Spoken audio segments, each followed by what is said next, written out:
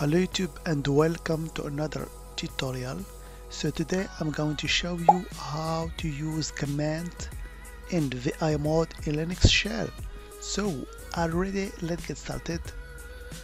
So as you have seen in one of my previous videos you can actually move your shell into VI mode. So to do that you can take a look at my previous video.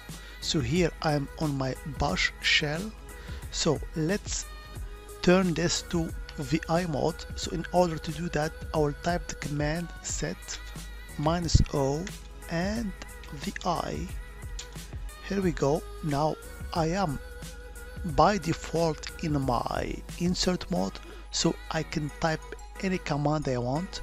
So let's for example uh, make small script for example loop for i n let's say 0 to 6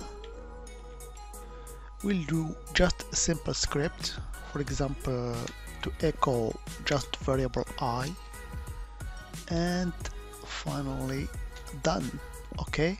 So now before actually pressing the enter key remember I'm still on insert mode in VI okay? So this time instead of pressing enter key I will just press the escape key.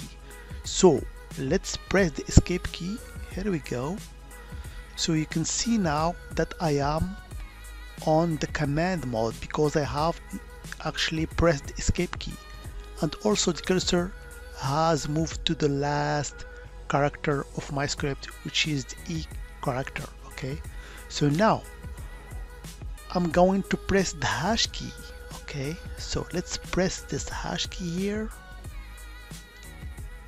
And voila as you can see now I have turned my entire line into a comment okay?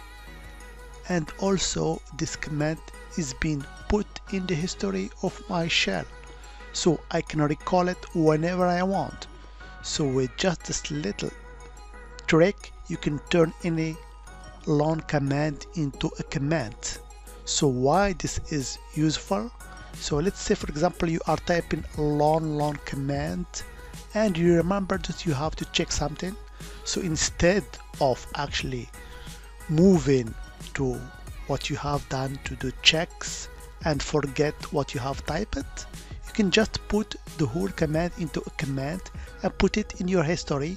So you can when you have finished your check you can recall this long line and just uncomment it and voila so let's say for example they want to actually recall my command so I can type whenever shortcut I want. So I will just use the up key in my keyboard. Here we go. So now remember I'm still on the command mode. So I can move to the first character by using just the zero in my keyboard. It has moved to the first character so I can use the X in order to delete the command. X here we go. Now I can type it. Now I can actually execute my command using the enter key. Here we go. So I have actually executed the line that I have typed before. Okay? So just remember to be using the command command is your friend whenever you are typing long command or long script as you have seen here.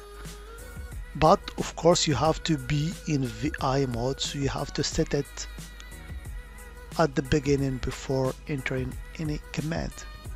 As always I hope it has been informative for you and I want to thank you for viewing. Bye bye